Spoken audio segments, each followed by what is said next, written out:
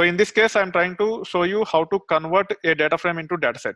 So one of the uh, problem which you might run into while creating a data frame to a dataset is nothing but the data types mapping between your uh, case class. So what is our case class here? It is nothing but order. You can actually get the details about data type and all with respect to your case class by saying javap hyphen p order. In some cases it might not work, but in many cases it will work. So they are nothing but uh, uh, of type integer for order id, string for order date, int for customer id, and then string for order status. Now when I create data frame out of our JSON data, so I'm actually saying spark.read.json mnt c data retail underscore db underscore json orders. Now the data frame is created. However, if you actually look at the schema, the schema is of type uh, uh, order customer ID with long, order date with string, order ID with long, order status with string. So there is a data type mismatch between what you have uh, specified as part of the case class using which you are trying to create a data set and the data frame that is created uh, using the JSON data. So because it actually go through the JSON data, it understand uh,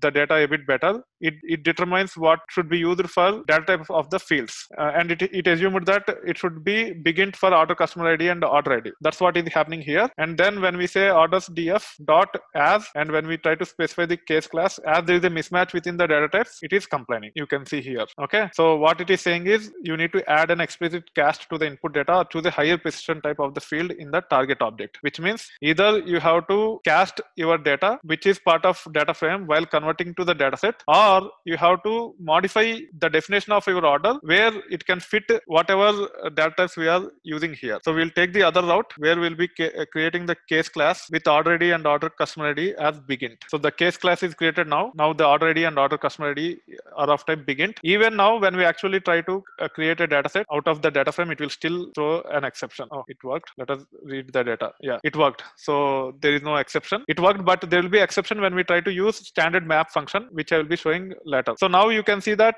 the JSON um, uh, means the fields from the uh, the fields of the data frame which is created out of JSON are of type BigInt, string, BigInt, and uh, string. And as we have specified, even our case class as BigInt string, BigInt string, it worked fine. However, if I try to use the map function after this and try to read a particular field such as o.order ID as part of standard map function, here it will fail. You can see here, unable to find encoder for type stored in a dataset. In this case, order ID is of type BigInt. And for BigInt, there is no uh, serialized alternative for Spark. And uh, as there is no serialized encoder for BigInt, it started failing. But if you actually say dot too long or too int, if it can be accommodated as int, it will work fine. Okay, so these are the things which you need to keep in mind. You need to understand the dependencies between the data types of the data frame and the uh, case class which you are trying to use to uh, create the dataset. Once you create the dataset, you also need need to understand the repercussions when you try to use standard MapReduce APIs on the dataset. And it is highly unlikely that we use standard